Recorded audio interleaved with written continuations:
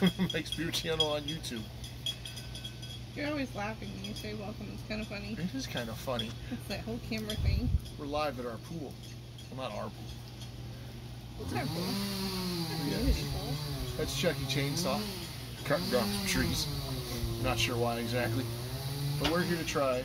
I saw them do this, take this off the pallet at Walmart just the other day. This is Hard Mountain Dew. Now, it actually doesn't say seltzer on it. It just says malt beverage with normal, with natural flavor, artificial sweetener.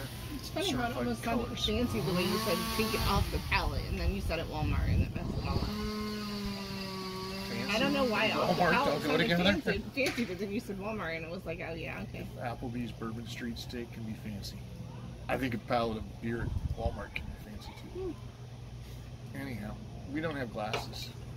It's five percent alcohol. You got to be 21 plus to enjoy it.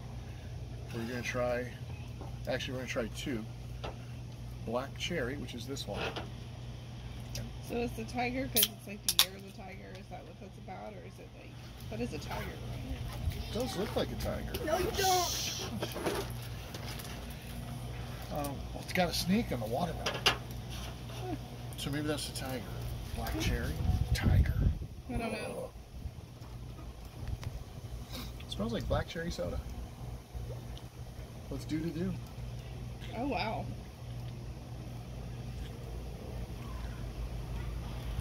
This could knock you on your butt. Yeah, this tastes just like straight up. Tastes like soda. I get a little hint of Ma- Mountain Dew aftertaste.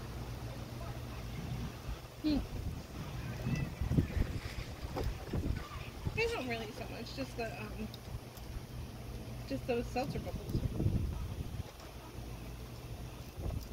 Tastes just like a black cherry soda. These could be eaten. And zero sugar.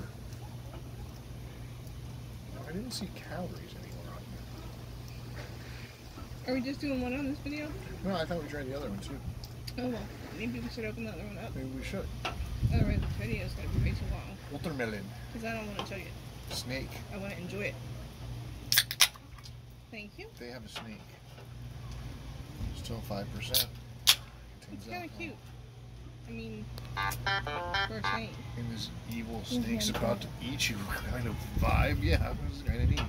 Ooh. Does it look like it's about to eat you or put you in a trance? I would say a trance. We watched the Jungle Book. Oh, that was a snake that she was sure. Oh, yeah. Duh. Huh? Oh my. Ooh, that is super sweet. This would go good with like a rum.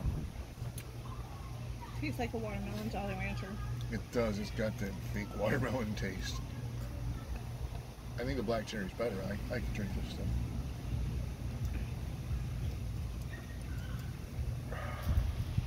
Tastes like maybe more like watermelon pop rocks because of the fizziness. Hmm. Because the fizziness seems to have like a flavor. Does that make any sense? I mean, A it's little bit, not a flavor, but it's probably whatever it's used to sweeten it.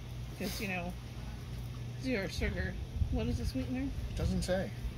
It's got to say the ingredients somewhere. The ingredients? No. Oh, 100 calories.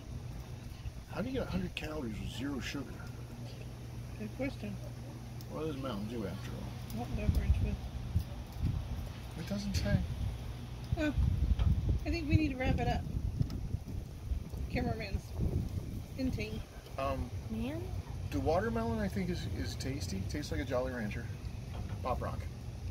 Um, I like the black cherry. Tastes just like a soda, which means these are these are evil. Because you can just drink them and not realize you're getting intoxicated. Definitely recommend for drinking by the pool on a hot day. We got two of those things going right now. You have 10 seconds. According to Meatloaf, two out of three ain't bad. Like, subscribe, smash the notification button. Till next time.